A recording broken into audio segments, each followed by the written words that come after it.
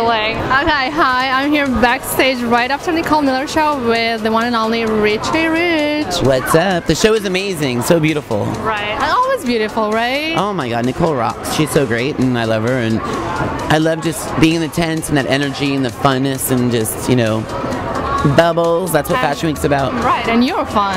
Well, thank you. I hope I am. So tell us what's going on in your life. What are you doing this day? Um, I'm launching a line, um, actually a show on Wednesday called The Muse.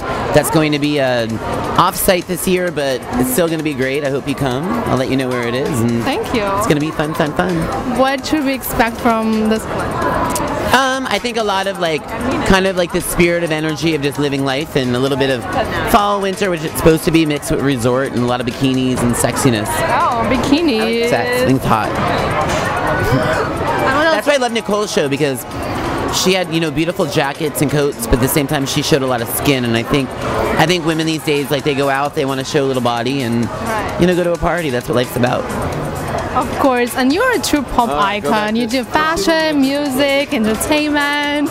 Tell us what's kind of like next. What's your next um, medium? I'm working on more music that I'm going to debut at the fashion show, which is super fun. And I'm working on a book about just like clubs in general and everything. Like all my club days, I've gone out and stuff. And Are you still going out? I'll always go out. I love it. I love people. It is still club life in New York.